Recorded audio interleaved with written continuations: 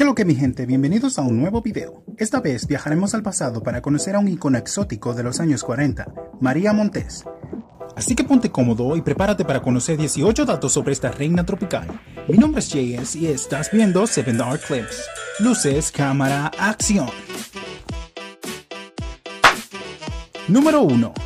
María África Gracia Vidal, conocida como María Montes, nació en la provincia de Barahona, República Dominicana, siendo la segunda de 10 hijos de la dominicana Teresa Vidal y el español Isidoro Gracia, nacido en Garafía, un municipio perteneciente a la isla de La Palma, provincia de Santa Cruz de Tenerife, quien se dedicaba a la exportación de madera y a la venta de tejidos. El apellido Montes lo había tomado en homenaje a la bailarina irlandesa Lola Montes. Número 2. Montes aprendió a hablar inglés a temprana edad y fue educada en un convento católico de Santa Cruz de Tenerife. Número 3. A mediados de la década de 1930, su padre fue nombrado cónsul español en Belfast, Irlanda del Norte, a donde la familia se mudó.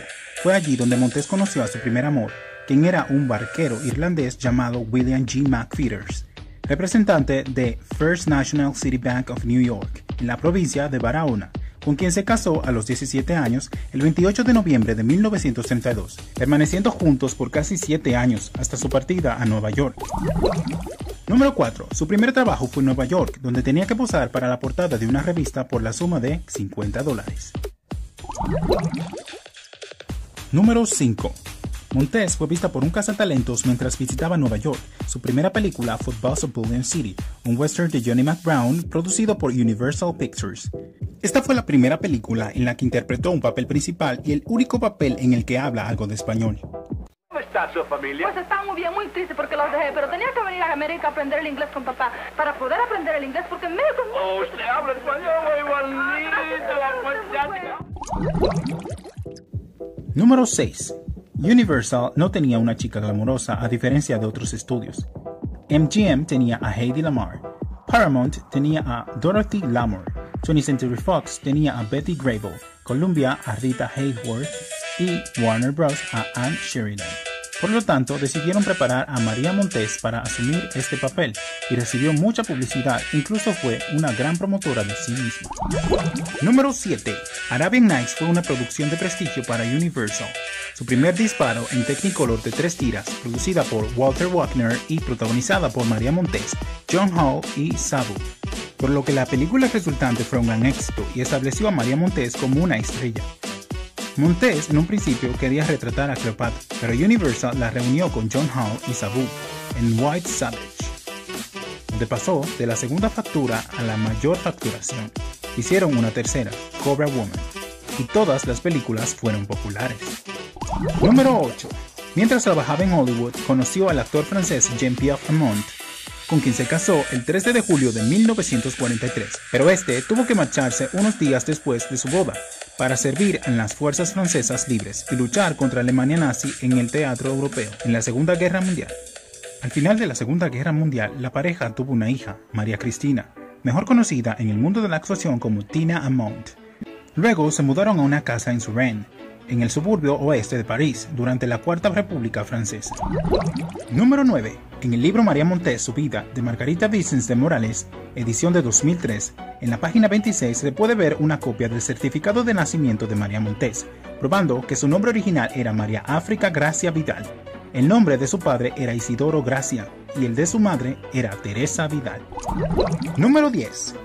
Decidida a convertirse en una actriz de teatro, contrató a un agente y creó una hoja de vida que la hacía varios años más joven, poniendo en la fecha de nacimiento 1917 en algunos casos y en 1918 en otros. Finalmente aceptó una oferta de Universal Pictures, haciendo su debut cinematográfico en la película B Buzz of Billion City, dirigida por Ray Taylor y protagonizada por Johnny McBrown. Número 11. Su belleza pronto la convirtió en la pieza central de las películas de aventuras en Technicolor de la Universal. En particular, las seis películas en las que actuó junto con John Hall, como son Arabian Nights, White Savage, Alibaba and the Forty Thieves, Cobra Woman, Gypsy Wildcat y Sodan. Montes además apareció en la película western Piratas de Monterrey, junto a Rod Cameron, al igual que en la película The Exile, esta última dirigida por Max Ophuls y protagonizada por Douglas Fairbanks Jr. La identificación con esta imagen cinematográfica fue tal que María Montes era conocida como The Queen of Technicolor, la reina del Technicolor. Número 12. En 1943, Montes recibió de República Dominicana un premio de dos condecoraciones o medallas del gobierno dominicano llamado Orden al Mérito de Juan Pablo Duarte, presentado por el presidente Rafael Leonidas Trujillo en noviembre de ese mismo año, por sus esfuerzos en promover relaciones amistosas entre los Estados Unidos y su tierra natal. Número 13. En 1944 fue nombrada embajadora de la buena voluntad de los países latinoamericanos en los Estados Unidos en la llamada política del buen vecino. Número 14. En enero de 1951, Montes apareció en la obra La Isla Feliz, escrita por su marido. Número 15. Escribió tres libros, Forever is a Long Time, Hollywood Wolves I Have Tamed y Reunion in Lilith. De esos tres libros, solo fueron publicados los dos primeros. Asimismo, se dedicó a escribir una serie de poesías, entre ellas Crepúsculo, la cual ganó en la asociación The Manuscriptors. Número 16.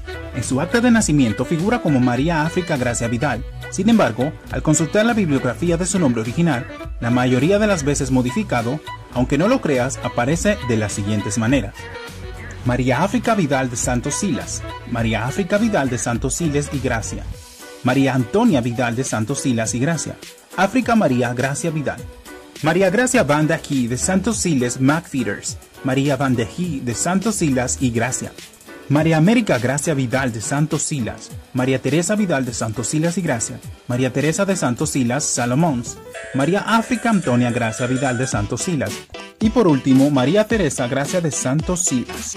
Sin duda, cualquiera que viera esto pensaría que la estrella tenía una personalidad algo fragmentada.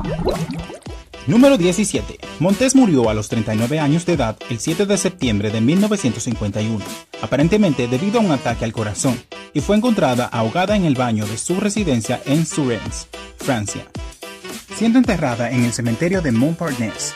En su tumba se muestra 1918 como su fecha de nacimiento, siendo 1912 la real. Número 18. Poco después de su muerte, una calle en la ciudad de Barahona, el lugar de nacimiento de Montes, fue nombrada en su honor.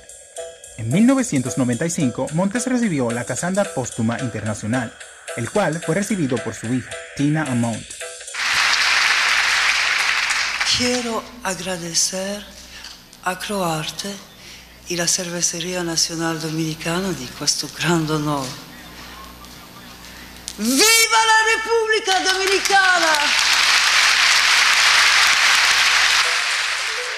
En 1996, la ciudad de Barahona abrió el Aeropuerto Internacional María Monteste en su honor, y 16 años seguidos, en 2012, una estación de tren en la línea 2 del metro de Santo Domingo también fue nombrada en su honor. Sin olvidar mencionar que para ese mismo año, los premios Casandra o llamados Premios Soberano fueron dedicados a María Montes para conmemorar el centenario de su nacimiento. Si te gustó el video, recuerda dejarme tu like y comentar. Mi nombre es JS y esto fue 7 Art Clips.